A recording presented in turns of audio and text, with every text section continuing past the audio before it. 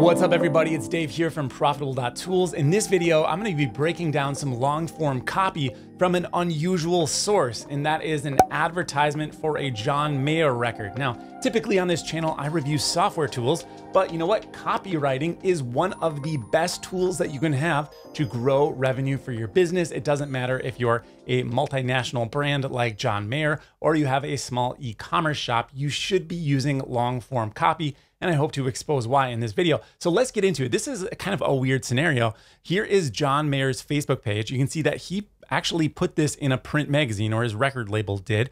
Uh, this looks like People magazine. You can kind of see the logo over here, but uh, it is solid long form copy. And you know what? It's it's pretty well done. So I want to break down how we approach this, and then maybe go into some of the reasons why they chose long form copy to have an advertisement for this record. All right, so I'm gonna go back an image here where we've just got the, the copy zoomed in. And let's go ahead and just check this out. So I'll tell you right out of the gates, it's just using the standard AIDA framework. We've seen that in all of the GPT-3 videos that I've been releasing lately. If you're not familiar with what I'm talking about, I'll link to that playlist down below. You can learn about some software tools that will actually help you write this kind of copy, at least give you some starting points. All right, so we've got a headline here. That is the first part of the AIDA framework. Attention. If you're flipping through a magazine and you see this, this is huge type, right? It's about a third of the page. It's time to love an album again. This does several things. First of all, it really targets who his market is. One, it's in a print magazine. So, you know, people reading print magazines are probably going to skew a little bit older. And two, love an album again. Who is going to love an album again? Again, it's that older demographic, people who, you know, grew up listening to actual records, not even maybe CDs, maybe cassettes, but they listen to the entire thing from front to back. That is a different approach from what most people, how they consume their music today, right? Everything is available to us on streaming platforms. It's very easy to skip between your favorite songs and kind of disregard the entire collection of music. So, John very clearly, or his marketing team, wants people to listen to this record from front to back. And so that is how they're branding it. I think that is a really good attention getting headline. It's not going to get everyone's attention, but it will get the ideal customer's attention. And that is the point. All right, the next section of the AIDA framework is I for interest. So let's check out how they grab our interest here. It says, when was the last time a record became one of your all time favorites? It's probably been a while. Hey, growing up happens. You can't keep up with everything new that comes your way. That's why you still listen to those trusty old classics. All right, they've got my interest here. They're not pitching me something right off the bat. They're not talking to me about how great John Mayer is, how amazing his guitar playing is, how insightful his lyrics are. No, they're not talking about the product itself. They're relating to me and gathering my interest. That is a really critical thing, something that people have a hard time doing these days where they just want to put up a spec sheet, a bullet point. It doesn't matter what product it is. You can think about, you know, even just Amazon listings. You just get the bullet points of the main features and people make their decision there. So I like this approach. It's going against the grain. It's not to say the old way or the, the current way is bad and the old way is better. This is just different, so it's grabbing my attention. All right, the next section starts down here, and this is where the desire section starts. It kind of ends the interest and starts to blend into desire. So here it talks about John Mayer for the first time. We are in the third section of the copywriting, and it's finally mentioning John Mayer, other than, of course, the huge image right here, which obviously, if you're familiar with John Mayer, that'll stop you in your tracks as well. So that's a bit of an attention getter. All right, so here's what the second paragraph says. John Mayer kept listening to them too, too as in referring to the old trusty classics, until one day he had an idea. Why not make a record that feels like those unforgettable albums we grew up loving? It's not easy to do, and you'd basically have to be John Mayer to pull it off, but he is, and he did. All right, so a little bit of tongue-in-cheek humor there. Uh, you know, it makes me think of kind of like Ryan Reynolds uh, commercials that he posts on YouTube. Uh, you know, talking about how great he is, and then actually living up to it. So this is really, really great copy in my opinion because if you like John Mayer, you're already kind of intrigued. Like, oh, okay, I haven't heard anything from him in a few years. It sounds like he's been hard at work on something. Uh, and it's something that is going to connect with my past, even though it's brand new. Nostalgia is huge right now. Everybody kind of wants to go back to a time before the pandemic when we had, you know, social interaction and community and music was really a part of that. If you think back to, you know, the 80s and 90s for me when I was growing up, uh, that was a huge communal aspect is you know, what records are you listening to? That was something people talked about.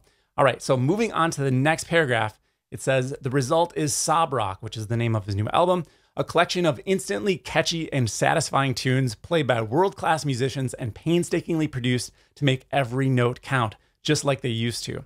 All right, so right here, he's going into the production, or the copywriter, I should say, is going into the actual creation of the product. It is proven that if you talk about how your product is made, it will become more valuable to your potential customer. You can talk about the process you go through to brew beer, the process you go through to check the quality of your engine, whatever it is.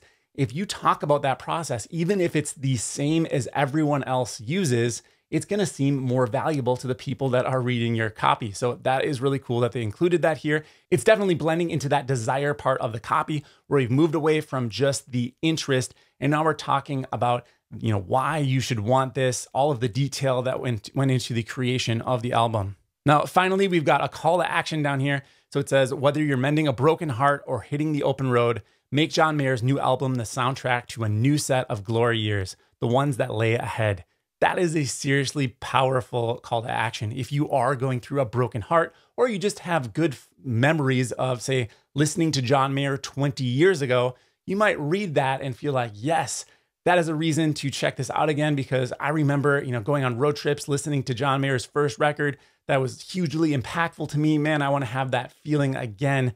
Uh, it's not just, you know, go buy this, right? Of course, it does end with available on Columbia tapes and records or records and tapes.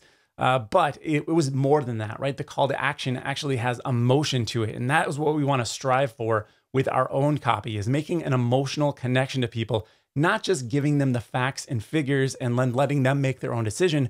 We want to appeal to their psychology and influence them that this is the right decision for them.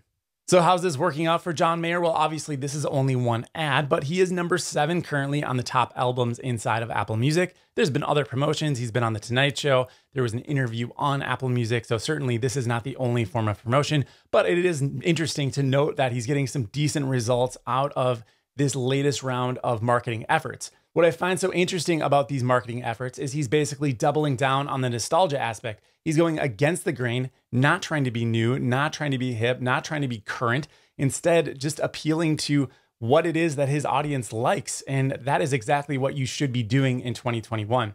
So, what is his audience thinking? Let's check out some of the comments. So we got Jane here, a top fan, says, Love this CD. Cannot wait to hear it live. Kim, uh, also a top fan, says, We do love it. Obviously, responding to the headline here, the attention getting headline.